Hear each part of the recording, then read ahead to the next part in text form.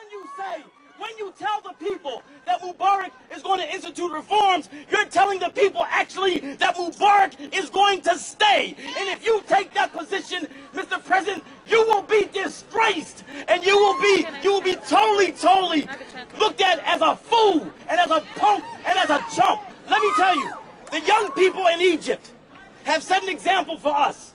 The young people in Egypt have set an example for you.